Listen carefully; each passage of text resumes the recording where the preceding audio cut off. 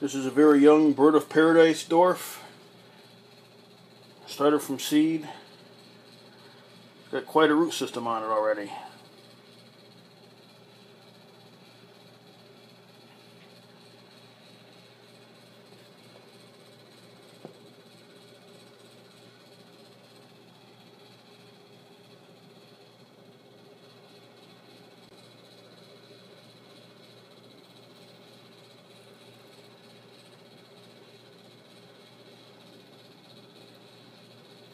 This bird of paradise had three leaves on it, and the center one uh, broke off or died off, but it's setting new shoots out right there.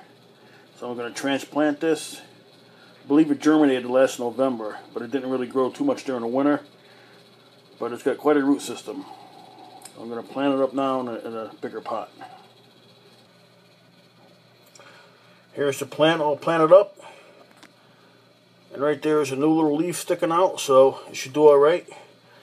And this here, I believe, is called the Mandela's Gold. This here grows a more yellow flower instead of the normal uh, orange flower.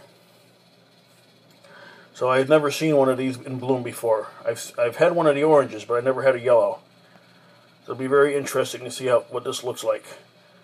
Hope you enjoyed my video. Thank you for watching.